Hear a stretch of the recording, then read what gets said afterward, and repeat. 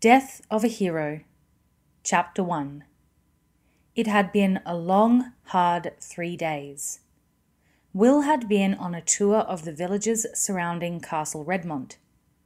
It was something he did on a regular basis, keeping in touch with the villagers and their headmen, keeping track of the everyday goings on. Sometimes, he had learned, little pieces of gossip, seemingly trivial at the time, could become useful in heading off future trouble and friction within the fife. It was part of being a ranger. Information, no matter how unimportant it might seem at first glance, was a ranger's lifeblood. Now, late in the afternoon, as he rode wearily up to the cabin set among the trees, he was surprised to see lights in the windows and the silhouette of someone sitting on the small veranda. Surprise turned to pleasure when he recognized Halt. These days, Will's mentor was an infrequent visitor to the cabin, spending most of his time in the rooms provided for him and Lady Pauline in the castle. Will swung down from the saddle and stretched tired muscles gratefully. Hello, he said. What brings you here? I hope you've got the coffee on. Coffee's ready, Halt replied. Tend to your horse and then join me. I need to talk to you. His voice sounded strained. Curiosity piqued, Will led Tug to the stable behind the cabin, unharnessed him, rubbed him down, and set out feed and fresh water. The little horse butted Will's shoulder gratefully. Will patted Tug's neck, then headed back to the cabin. Halt was still on the veranda, he had set out two cups of hot coffee on a small side table, and Will sat in one of the wood and canvas chairs and sipped gratefully at the refreshing brew. He felt the warmth of it flowing through his chilled, stiff muscles. Winter was coming on, and the wind had been cold and cutting all day. He gazed at Halt. The grey bearded ranger seemed strangely ill at ease. And despite his claim that he needed to talk to Will, once the usual greetings were out of the way, he seemed almost reluctant to begin the conversation. You had something to tell me? Will prompted. Halt shifted uncomfortably in his seat. Then, with an obvious effort, he plunged in. There's something you should know, he said. Something I probably should have told you long ago. It's just the time never seemed right. Will's curiosity grew. He had never seen Halt in such an uncertain mood. He waited, giving his mentor time to settle his thoughts. Pauline thinks it's time I told you, Halt said. So does Arald. They've both known about it for some time, so maybe I should just get on with it. Is it something bad? Will asked, and Halt looked directly at him for the first time in several minutes. I'm not sure, he said. You might think so. For a moment, Will wondered if he wanted to hear it, whatever it might be. Then, seeing the discomfort on Halt's face, he realized that, good or bad, it was something that his teacher had to get off his chest. He gestured for Halt to continue. Halt paused for a few more seconds, then he began. I suppose it starts after the final battle against Morgarath's forces at Hackham Heath. They'd been retreating for several days. Then they stopped and made a stand. We'd broken their main attack and we were forcing them back. But they were rallying on the right, where they'd found a weak point in our line. Chapter 2 south of Hackham Heath. Sire, the right flank is in trouble. Duncan, the young king of Araluen, heard the heralds shout above the terrible din of battle. The clash of weapons and shields, the screaming and sobbing of the wounded and dying, the shouted orders of commanders rallying their troops, and the involuntary, inarticulate cries of the soldiers themselves as they cut and stabbed and shoved against the implacable enemy formed an almost deafening matrix of sound around him. Duncan thrust once more at the snarling Wargal before him, felt the sword go home, and saw the snarl change to a puzzled frown as the creature realized it was already dead. Then he stepped back, disengaging himself from the immediate battle, physically and mentally. A young knight from the Araluen battle school quickly took his place in the line, his sword already swinging in a murderous arc as he stepped forward, cutting through the Wargal front rank like a scythe through long grass. Duncan rested for a moment, leaning on his sword, breathing heavily. He shook his head to clear it.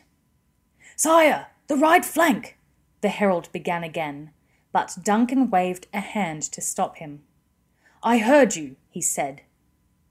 It had been three days since the battle at Hackham Heath, where Morgarath's army had been routed by a surprise attack from their rear, led by the Ranger Halt. The enemy were in full retreat. By rights, Morgarath should have surrendered. His continued resistance was simply costing more and more casualties to both sides. But the rebellious lord was never concerned with preserving lives. He knew he was defeated, but still he wanted to inflict as many casualties as possible on Duncan and his men. If they were to be victorious, he would make them pay dearly for their victory. As for his own forces, he cared little for their losses. They were nothing more than tools to him, and he was willing to keep throwing them against the royal army, sacrificing hundreds of troops but causing hundreds of casualties in the process. So for three days he had retreated to the southeast, turning where the terrain favoured him to fight a series of savage and costly battles. He had picked the spot for this latest stand well. It was a narrow plain set between two steep hills, and recent rain had softened the ground so that Duncan could not deploy his cavalry. It was up to the infantry to throw themselves against the Wargals in hard, slogging, desperate fighting. And always lurking in the back of Duncan's mind was that one mistake from him, one lucky throw of the dice for Morgarath, could see the Wargal army gain the initiative once more.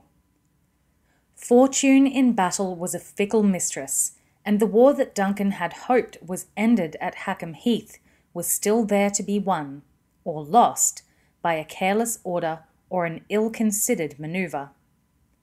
Momentum, Duncan thought. It was all important in a situation like this. It was vital to maintain it. Keep moving forward, keep driving them back. Hesitate even for a few minutes, and the ascendancy could revert to the enemy.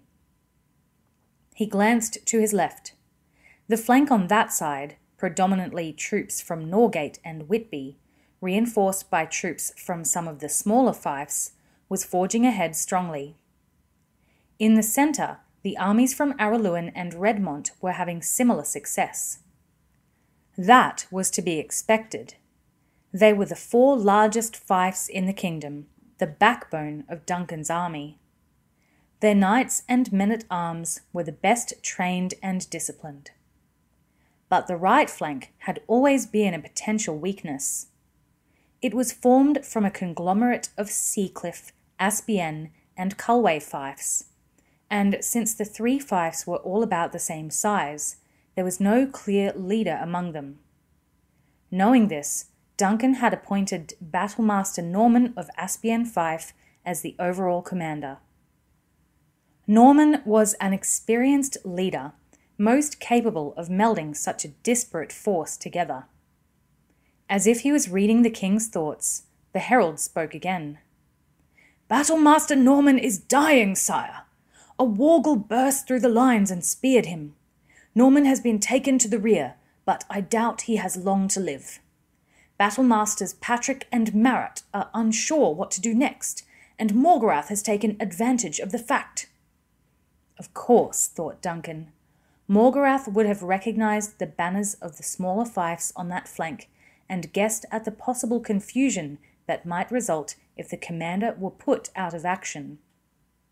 Once Norman was down, the rebel commander had undoubtedly sent one of his elite companies of shock troops to attack the right flank. Momentum again, Duncan thought. Only this time it was working against him. He peered keenly towards the fighting on the right flank. He could see the line had stopped moving forward, saw his men take the first hesitant step backwards. He needed a commander to take charge there, and he needed him fast. Someone who wouldn't hesitate. Someone with the force of personality to rally the troops and get them going forward once more. He glanced around him. Arald of Redmont would have been his choice, but Arald was being tended by the healers. A crossbow quarrel had hit him in the leg, and he was out of action for the rest of the battle. Arald's young battlemaster Rodney had taken his place and was fighting furiously, urging the Araluen forces forward. He couldn't be spared. They need a leader, Duncan said to himself. I'll go. A calm voice spoke from behind him. Duncan spun round and found himself looking into the steady, dark eyes of Halt, the ranger. The dark black beard and untrimmed hair hid most of his features. But those eyes held a look of steadiness and determination. This was not a man who would bicker over command or dither over what had to be done. He would act. Duncan nodded. Go on then, Halt. Get them moving forward again, or we're lost. Tell Patrick and Marat. He got no further. Halt smiled grimly. Oh, I'll tell them all right, he said.